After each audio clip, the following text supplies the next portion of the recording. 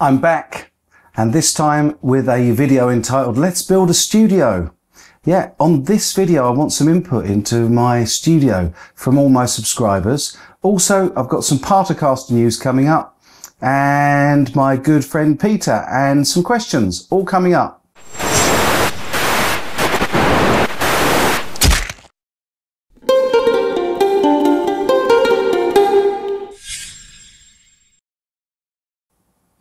Yeah, I'm glad to be back, folks, and it was lovely to do a video the other day with my really good buddy from New Zealand, Peter, who's all fit and well now, which is great news. Um, had a good time, and he said he'll do another video before he goes back to New Zealand. He wanted to say thank you to everybody who's put such lovely comments on that video, and he has promised he'll come back and do another one for us. So if you've got questions for him, uh, other than telling him the weather's awful over there, um, please put them in the comments down below and he'll respond. Um, we had a great time going down to GAC on Sunday and also making a bit of a jam session uh, video for you on Sunday afternoon. Really good fun. So yeah, great stuff. The second thing, I've got something to show you. No, not the fact that I picked up my coffee. This. Hmm. This is a nut for the Partscaster and it's made by Earvana. It's a CTS nut, a, which stands for Compensated Tuning System. And I don't know if the camera will focus on this. Hopefully it will, especially if I get out of the way. What that does is it compensates for the open tuning on the nut. So that's going to replace this current nut and to sit under there just like so. And also, fingers crossed, hopefully it's going to be nice and low and reduce that awful, awful high nut. So that is coming up in the very next Partscaster video, which should be, well, hopefully this week or next. Um, and we're going to put this on, see, see how it sounds. I'm sure it's going to be great. And then finally today, what I really would like is some input from you, if you'd be kind enough. Um, we moved house back in October last year, 2015. Uh, 2015. I get pulled up for saying 2015. 2015 we moved in and within two or three weeks we had a terrible storm and our back wall came down. Here's a little bit of footage of the damage done. I showed you on the video the other day, but as you can see, the wall has seriously uh, fallen in and it's broken on both sides. So we've been toing and froing with the insurance company ever since. Obviously we had insurance for it and they finally, just on the 1st of July, agreed uh, a settlement figure for us to get a builder in and start work. So I've booked a builder to start in the next couple of weeks. However, I felt that while he was in, as they're like hen's teeth, and uh, it's very difficult to get hold of them over here. They're all very busy. So I thought while we've got the opportunity, I'll take that chance to get him to give me a quote for building the studio that I'm looking to build. For ages and ages, I've wanted to build a really good sized studio. Uh, not just for music, although I would like to rehearse there with the band and also do some recording, but also a studio that's suitable to make these YouTube videos for you guys. Uh, so it wants to be something that's fairly multi-purpose. I, I, can't build it just as a sound studio uh, because uh, it's got to suit many different purposes. And I just wondered what your opinion and input was. I've done a little bit of research in the UK here over planning laws, and this is what I've found.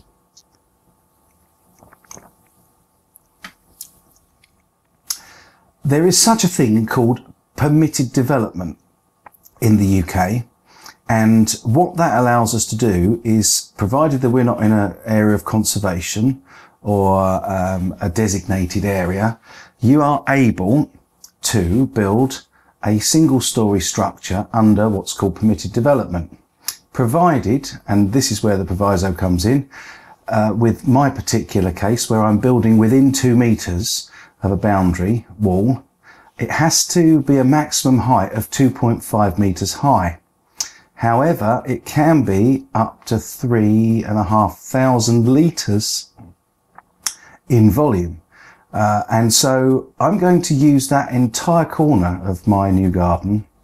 I'm going to move the summer house and I'm going to have a space potentially to create something between three and a half to four meters wide and eight meters long obviously by two and a half meters high.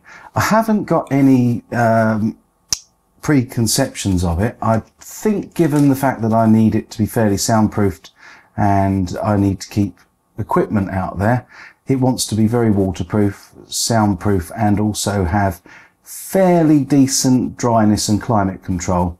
Uh, although obviously that can be built in by air conditioning. Um, so I just want to have your ideas. I think while the builder's here, he's happy to build in brick or in timber. Although my personal preference, given the age of our house being built, the earliest part built in the 1850s, uh, I would like to think that we could go for brick possibly, because I think that would look rather nice, brick and slate roof. But I'll have your input on that. I'm sure you've got your ideas. Um, and I just wanted to involve you because you've been very kind in sticking with me while I've had another protracted break. Uh, thanks very much to Matt East. Uh, and I do appreciate your loyalty. I've, I've grown in subscriptions from about 17,500 to 18,000 plus in the time since I made a video. Uh, so I, I know you're standing by me and people are subscribing. So I want you to be involved. I want this to be a fun project and it's going to be entitled Let's Build a Studio and I'll take you through every single stage. So uh, we've got a week before the builder starts doing the, uh, the wall uh, and then probably a, a, week or so after that before he needs to start sorting out foundations and footings for the, for the additional work I want to give him. So yeah, give us your ideas. It's got to be a sound studio and a video studio and a multi-purpose room that will mean that I'll be out of my little study uh, and making these videos for you in there. So we get the guitars on the wall, that kind of thing. Really love to have your, if you any of you have done projects like this or know of anybody that's done any projects like this, or you've got good ideas for designs for outbuildings, uh, particularly brick built outbuildings with um, probably a couple of triple glazed windows or doors in, um, just so that we can keep plenty of light in, getting in and prevent heat from being lost. Uh, then let me know. Give me your comments and, and send me links to photos and uh, drawings and other ideas that you may have out there in interweb land. Okay, I really appreciate it, folks. And again, thanks again for standing by me and for for not unsubscribing when I do go AWOL for for a period. I'm much happier about the the um, Harley Benton guitar now that I've given it to Pete. Uh, he was the only one I could guarantee was a, a, legitimate and genuine entry into the competition. So I was really pleased to give that to him. And um, I hope you were as well. I hope you all thought that was a, the best thing to do with it. I ummed and about giving it to a school uh, anonymously, um, and I may do that with another guitar. So, um, I, I, but I decided against it in this instance because Pete was involved in the competition, and he's a great guy. He really struggled and never gave in uh, during the cancer treatment, and I think that there's nobody more deserving than him of that guitar. So uh, I'm really happy with that. And it's meant that I feel a lot happier and a lot better about getting back to doing videos for you more frequently now. So I shall be back, hopefully more regularly. I'll never say never because I don't want to tempt fate. Until the next one, folks, you take care of yourselves and uh, cheers.